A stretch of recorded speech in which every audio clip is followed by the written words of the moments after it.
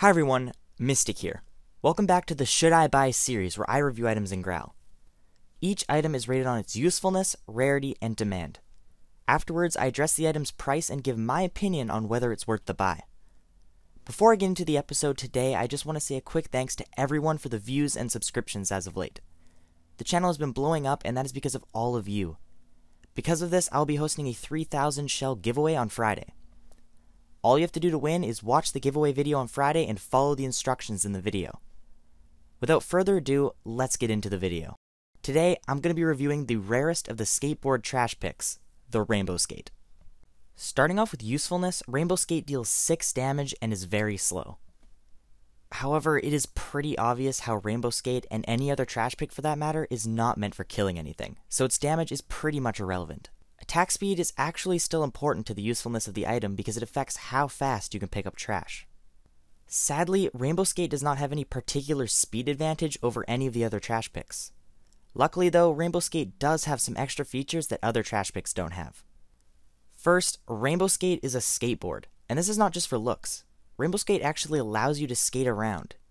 Yes, skateboards are not the most useful thing in the world, but some players do use them to be able to say things in public chat and move around without it disappearing.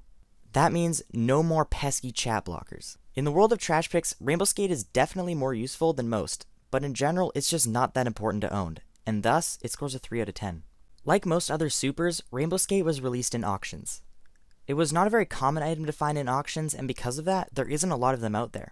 Over the past year, I've definitely noticed that the amount of rainbow skates in tables has been slowly diminishing. I'm not sure if this is due to a hoarder or just the gradual loss of the item. Lately, I've only seen two and at most three rainbow skates in the entirety of tables. This has really driven the rarity of Rainbow Skate up and is starting to become very noticeable when attempting to buy one. Overall, I give Rainbow Skate a 7 out of 10 in rarity. Demand has been something that was never really there for Rainbow Skate. Yes, it is cool, but it really isn't unique. Many just settle for the normal skate pick, and ever since the release of the rare version, the Monkey Skate, nobody has really wanted to shell out the price of Rainbow Skate. However, I feel when the item drops and goes to a lower price, it seems everyone is looking for one. Its tendency to sometimes pique the interest of buyers gives it a 4 out of 10 in demand. Rainbow Skate's price has fluctuated to all ends of the earth over the past few years. Since its release, it's been an item I've found extremely hard to keep track of. It's been everywhere between 30 and 100k, which makes the item extremely unpredictable and risky. I think it's an item that could rise and drop at any time. Currently, though, Rainbow Skate is sitting around the 37 to 40k range. My opinion on Rainbow Skate didn't quite match the score I gave it, and that puzzled me. Overall, I feel the scores make Rainbow Skate look like an awful buy, and I disagree with that. It is one of my favorite trash picks to own, and I usually have one. I think although the scores are low, the item just makes you like it when you own one. Another reason for me liking it is that I have made a lot of profit buying them when they drop. Taking advantage of its crazy price changes can be very beneficial.